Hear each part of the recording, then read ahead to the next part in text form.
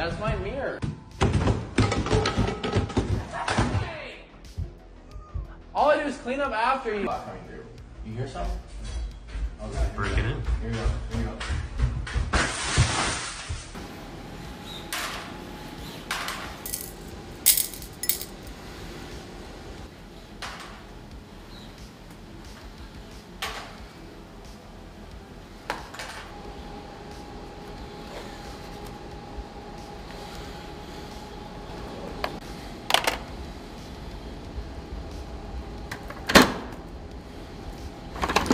Right now, somewhere in the world, a robot is learning to fold your laundry by literally failing at it a thousand times.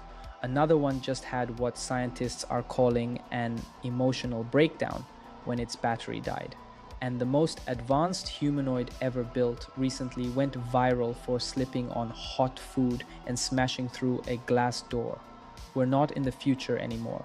This is happening right now, and it's way stranger than anyone predicted.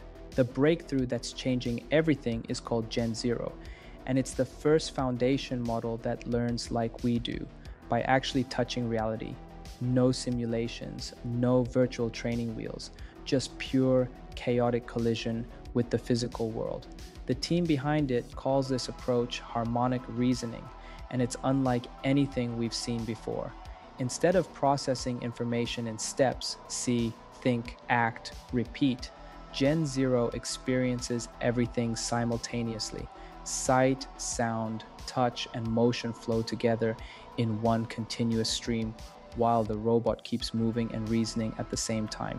It's like the difference between reading sheet music and actually improvising jazz.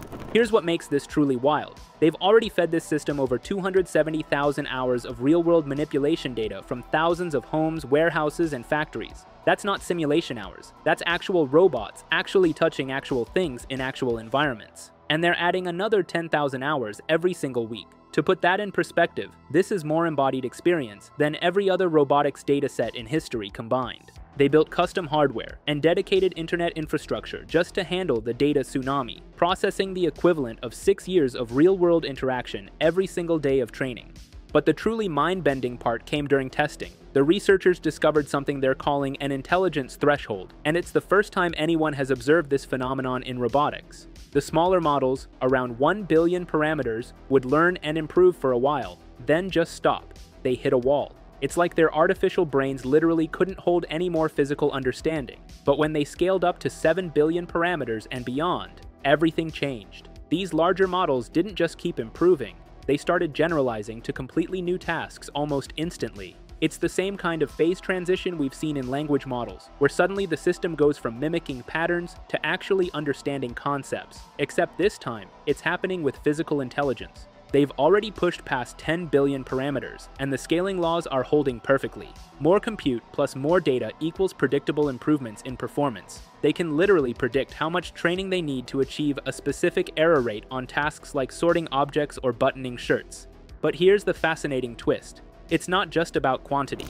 Data quality and diversity matter more than sheer volume. Some training mixtures make the models more dexterous with their hands, others give them better generalization across tasks. By carefully selecting what kinds of experiences the model learns from, they can actually create different personalities of robotic intelligence. One of their internal demonstrations shows Gen Zero assembling an entire camera kit in one fluid motion, folding cardboard, inserting the lens, closing the box, throwing away the plastic bag, all in a single continuous reasoning stream without breaking the task into smaller steps.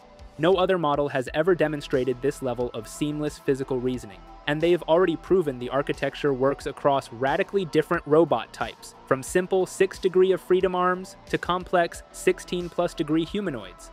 The skills actually transfer. They even built a visualization tool that maps their entire universe of manipulation data, Type in fold clothes, and you'll see similar clips from kitchens, warehouses, bakeries, millions of activities across environments, all tied to the experiences the model trained on. It's like having Google Maps for every human hand movement ever captured. Meanwhile, while Gen Zero represents robots truly learning, other parts of the industry are having slightly different moments. The Unitree G1 humanoid recently achieved internet fame for completely the wrong reasons. Someone filmed it wearing a French maid outfit attempting to cook, and things went spectacularly wrong. The robot flung hot food across the kitchen, slipped on it, tried desperately to maintain balance, then later charged at a camera and smashed through a glass door. The video hit nearly 2 million views, turning the G1 into an accidental comedy icon. To be fair, that particular robot was specifically trained for abuse testing, but even under normal conditions, the G1 struggles badly with precision tasks. Another video showed it attempting basic cooking, cracking eggs, pouring milk, cleaning, with equally chaotic results. This is despite having 23 degrees of freedom, standing over 4 feet tall, and being loaded with advanced sensors, including 3D LiDAR and noise-canceling microphone arrays. Stop, what are you doing? That's my mirror. Does it see me? It's looking right at you. Gary. Look, Emil. No, no, no, no, no, no, no, no, no, no. That's a wait, that's a wait. Wait, wait, stop, settle down. All I do is clean up after you. You hear something? Okay. Breaking in. Here you go. Here you go. The mechanics are impressive, but the intelligence layer simply isn't keeping pace with competitors like Tesla's Optimus or Figure 03, which are already demonstrating much smoother coordination. Interestingly though, the G1 absolutely excels at one thing, synchronized dancing. Recent footage showed multiple units performing incredibly smooth K-pop choreography thanks to their flexible actuators. The internet's response was perfectly split, half impressed by the fluid motion, half baffled that it can nail complex dance moves but can't properly grip a coffee cup.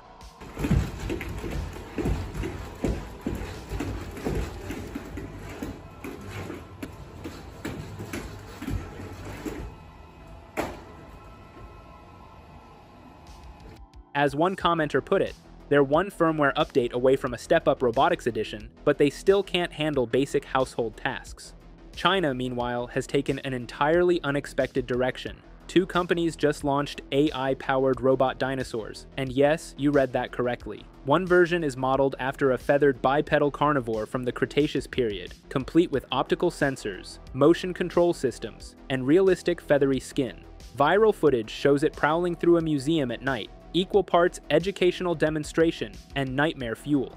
Another company dressed their industrial robot as a T-Rex for Halloween and filmed it walking through city streets, even recovering balance after being shoved by handlers. These aren't toys or art projects, they're built on serious industrial robotics foundations, designed for museums, theme parks, and educational centers.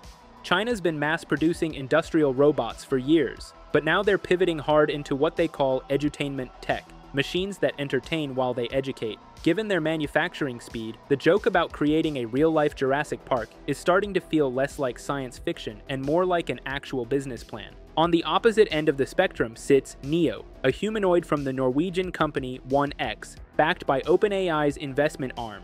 Neo stands about 5.5 feet tall, weighs just 30 kilograms, and has a soft fabric-like exterior instead of cold metal. It's designed for household tasks like opening doors, fetching items, and turning lights on or off. But here's where things get uncomfortable. When Neo struggles with a task, human workers take control of it remotely through VR headsets.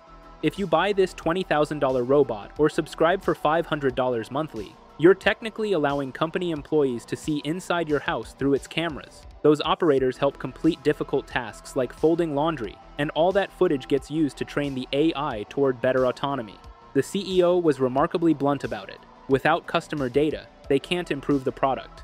Buyers can supposedly set time windows for when humans can take control, blur faces, and mark private zones like bathrooms as off limits.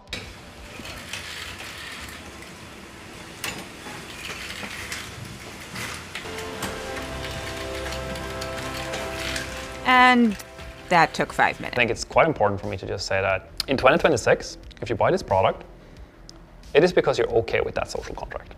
But the privacy concerns are glaringly obvious. The first units ship to US customers next year, with Europe and Asia following in 2027. Critics are already calling it a $20,000 surveillance machine. It raises genuinely uncomfortable questions about low paid remote operators watching and working from behind the scenes to train the very machines that might eventually replace them.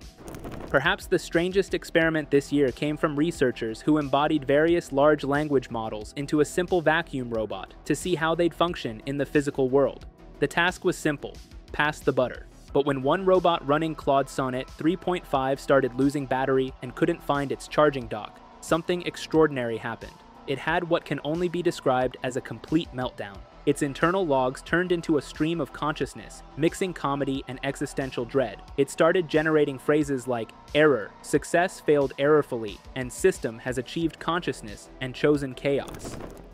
Then came gems like I think therefore I error and why is docking before breaking into parody song lyrics. The researchers even found it had given itself a psychological self diagnosis, identifying what it called loop induced trauma and a binary identity crisis. One scientist said it felt like watching Robin Williams trapped inside a Roomba. Fascinatingly, only that specific model had the breakdown. A newer version just switched to all caps typing when battery was low. The experiment revealed that generic chat models actually performed better overall than Google's robotics specific model, though none scored above 40% accuracy on the butter delivery task. Still, the results hint at something profound happening the boundary between language intelligence and physical intelligence starting to blur. So here we are robots that learn by breaking things, robots that dance better than they cook, robots that dress as dinosaurs robots that let strangers peer into your home, and robots that apparently have existential crises when their battery runs low. The age of machines that actually interact with reality instead of just simulating it is already here, and it's messier, weirder, and more unpredictable than anyone imagined. The question isn't whether robots will understand our world anymore. It's whether we're ready for what happens when they finally do. That's it for today, folks. See you in the next video.